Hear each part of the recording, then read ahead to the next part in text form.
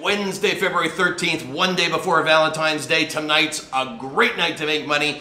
For your honey tomorrow night, let's go at it. Last night, quick recap hockey sucked. We lost with the Islanders, lost with the Flames. Flames are looking a little flat after the All Star break. Same thing happened last year. We got to keep an eye on them. There may be an opportunity coming on the other side.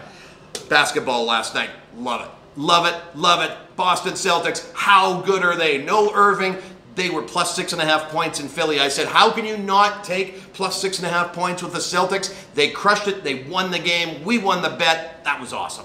Lakers, they won the first half, covered the two and a half, didn't do it in the game, so that was a split. But college, boy, oh boy, here we go. We won the Maryland plus two and a half. I said put a little on the money line, plus 120, 130. They came, they shipped it, they won that game. But our game of the month, Louisville Duke. What a story, what a game. Louisville crushing them at home at halftime. So we had that plus four. We had them plus eight in the game. They ended up losing the game by two points. They were up by 23 points in the second half. They were up by 12 points with less than five minutes left. Damn it, they just couldn't pull it through. But we did, for those of you that are watching closely on our social media feeds, we put out a pick at halftime on Duke minus seven and a half in the second half. Reason for doing that? Locking in profit. And uh, so hopefully you guys can start uh, keeping a close eye on that and we're going to start getting some mechanisms to send out some alerts when we see those second half opportunities. So let's turn the page. We're on tonight's games.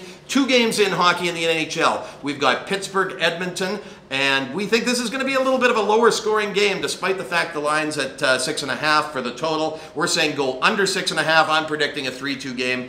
Uh, Vancouver and Anaheim, the second game in the NHL. Anaheim home, man, those guys are having some problems. They've lost seven in a row. It's going to be eight in a row after tonight. Take the Canucks, minus 120, good value there. In college basketball, actually, let me go back to, NA, uh, to the NBA first. We got one game that we like tonight. Taking points at home, you hear me say it all the time. Cleveland, plus seven points, hosting Brooklyn. Brooklyn's pretty good, but I'll tell you what, seven points at home worth taking. Watch for that. Uh, watch for that one to come in. I really like that play.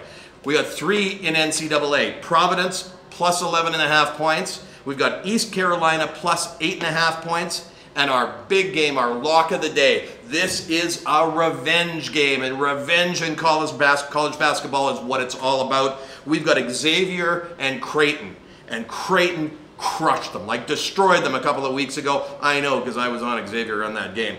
I think tonight this is going to be a blowout for Xavier. It's a pick 'em right now. Take Xavier in the first half, take him in the game. If they are up big at the half, come back on Creighton in the second half and try and middle that game. You win three bets and you protect your game investment. Guys, this is Kelly for Game Changer. Good luck. Let's bust that bookie.